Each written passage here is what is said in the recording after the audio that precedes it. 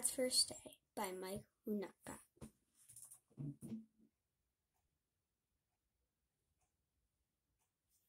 This is Oliver, and this is Oliver's dad.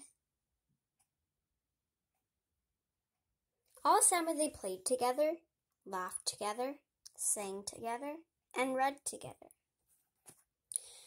When summer was over, it was time for Oliver to start school. Are you ready for school? Yes!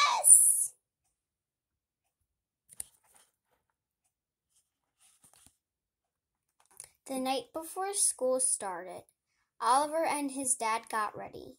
Yum. Yum. Ar, matey. Oh, On guard. Perfect. Perfect. On the first day of school, Oliver's dad didn't feel good. My tummy hurts. It's okay, Daddy.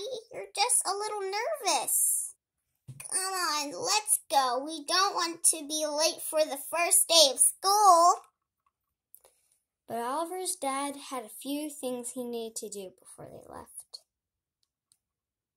Daddy, what are you doing? We need to go now. So Oliver's dad hid behind the couch. Oliver found him. He hid inside the closet. Oliver found him.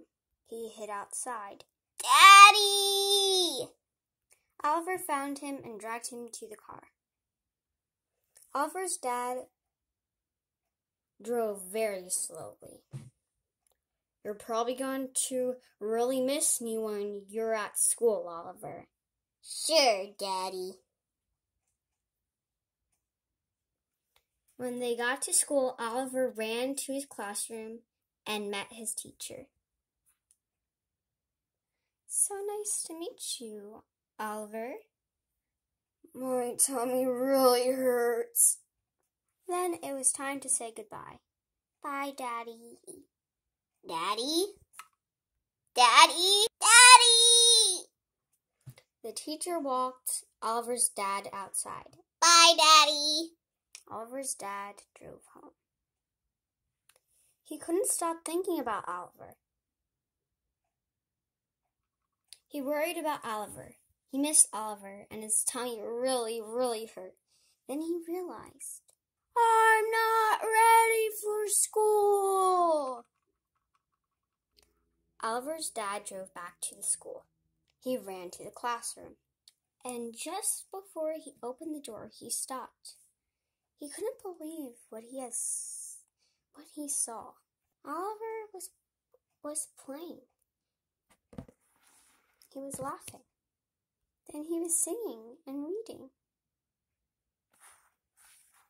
Oliver's dad smiled. Oliver and his dad were ready for school. After the first day of school, they celebrated until their tummies hurt. Good job, Daddy. The end.